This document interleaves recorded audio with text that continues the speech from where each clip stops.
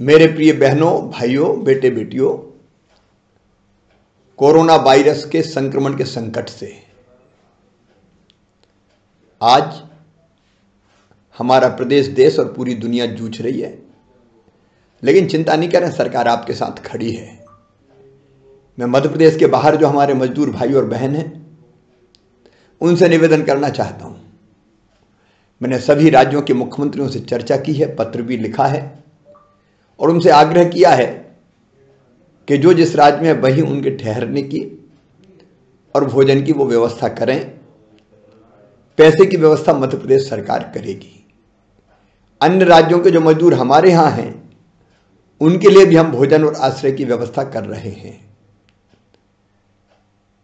जो मध्य प्रदेश में हमारे मजदूर भाई और बहन हैं, गरीब भाई बहन हैं, उनको चिंता की ज़रूरत नहीं है।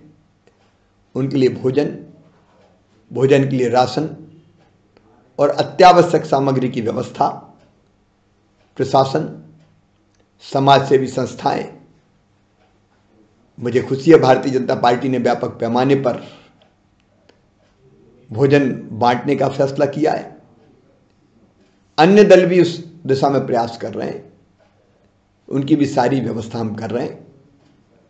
जो बाहर फंसे हैं, उन भाइयों और बहनों को अगर मदद चाहिए तो हमने दो अधिकारी नियुक्त किए हैं और दो टेलीफोन नंबर है। आप उन पर कॉल कीजिए, zero seven double five two seven zero eight zero three zero.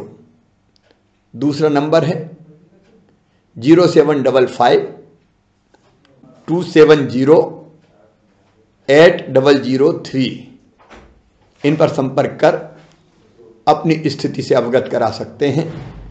प्रदेश सरकार आपकी हर संभव सहायता के लिए तैयार है। मध्य प्रदेश में भी जो विद्यार्थी अलग अलग स्थानों पर पढ़ाई के लिए आए हैं, छात्रावास इत्यादि स्थानों पर रह रहे हैं, उनको भी अगर कोई दिक्कत हो तो इन्हीं फ़ोन नंबर पर वो अपनी परेशानी से अवगत करा सकते हैं।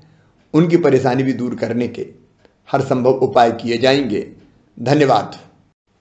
मेरे प्रिय किसान बहनों और भाइयों, कोरोना के संकट से आज सारी दुनिया जूझ रही है, हम भी लड़ रहे हैं। लेकिन कई जिलों में बारिश की दोहरी मार पड़ी है।